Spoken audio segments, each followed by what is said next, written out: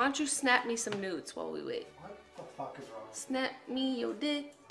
I got drunk and now I'm sitting on the ground. This feels a lot like revenge, and I'm feeling pretty happy about it. The darkness will swallow you whole, Kermit.